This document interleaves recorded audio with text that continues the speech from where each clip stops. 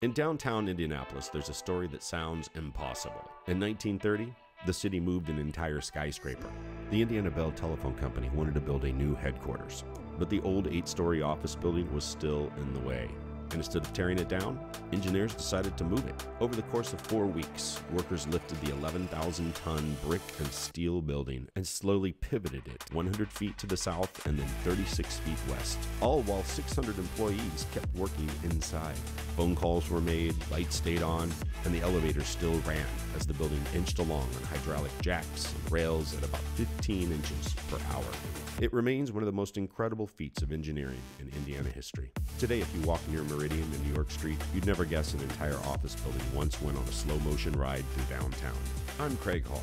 Be sure and follow us for more amazing feats of Indiana history. And thanks for joining us on this Indiana Story Minute.